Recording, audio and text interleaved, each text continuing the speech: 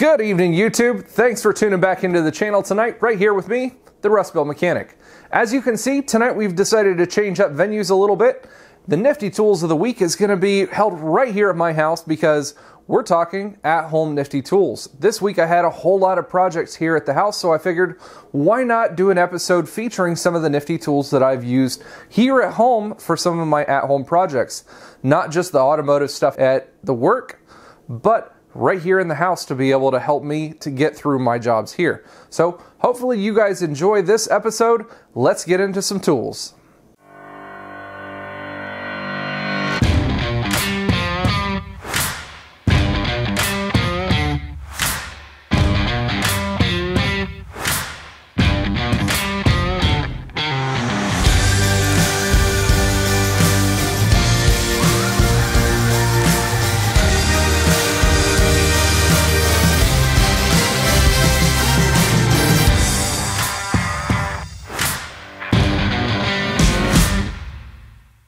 First nifty tool that we're going to come to is this Work Sharp Outdoor Blade Sharpening Kit.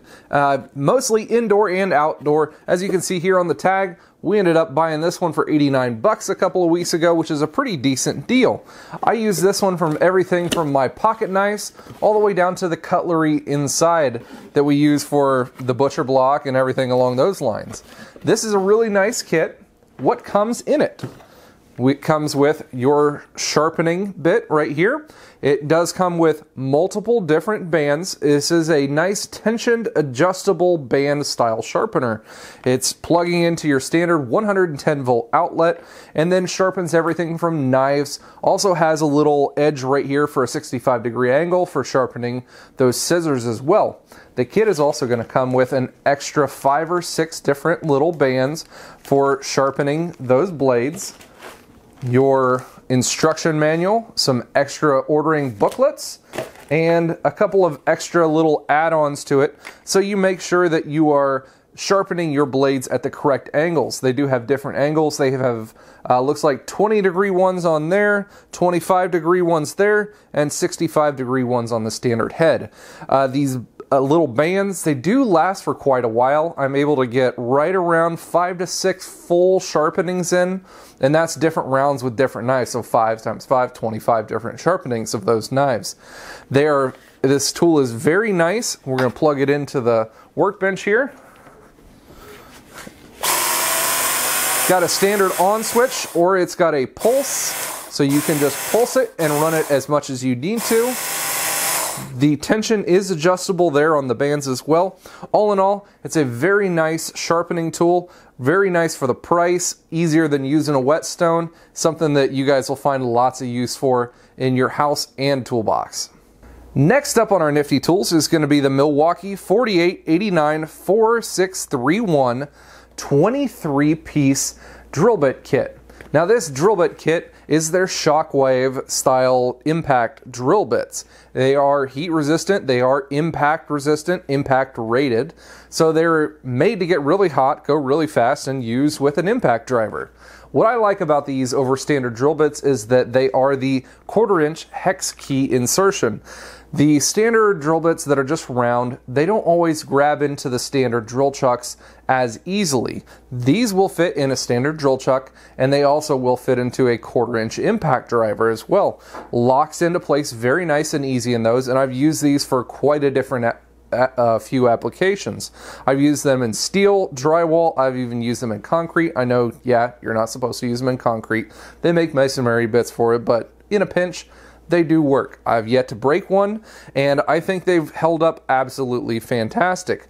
It's very nice to be able to switch out, especially in a quarter, inch impact driver set and the 30 or the 23 piece set is pretty comprehensive. It goes all the way from 1 16th of an inch all the way up to the 1 half inch drill bit set right here. All in this nice compact case that seals up locks away and is able to go anywhere you guys want it without having any of these things fall out or lose them either.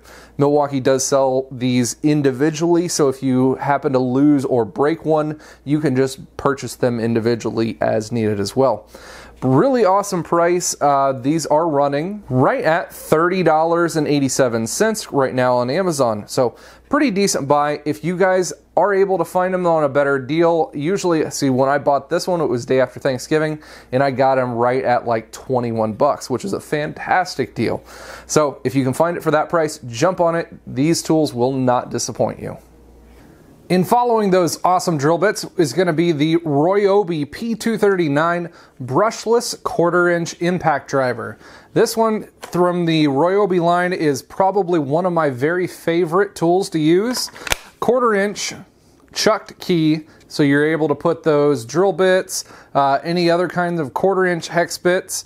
Uh, I do like that the light here on the bottom is super bright, so as soon as you touch the trigger, it does come on. As compared to some of my stuff at the shop, the snap-on ones, I don't like that those, when you hit the trigger, you kind of have to have your finger on the trigger, trigger part of the way for that light to come on. As soon as you touch the trigger on this one, the light comes on and stays on for 5 to 10 seconds.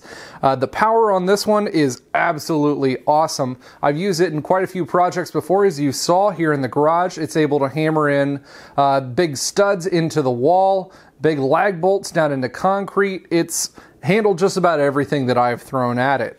And for the tool only, this one running right now is right at like 43 bucks compared to some of those Milwaukee and Snap-on. They are that is an absolute steal. Now, as far as durability, I don't know because I don't use this in a day-to-day kind of circumstance. I don't use this in the like the harsh environment inside of the shop. I use this at home when I need it and it hasn't failed me yet.